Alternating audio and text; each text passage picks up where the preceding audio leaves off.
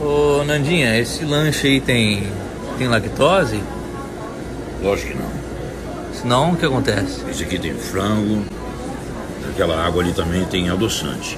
Hum.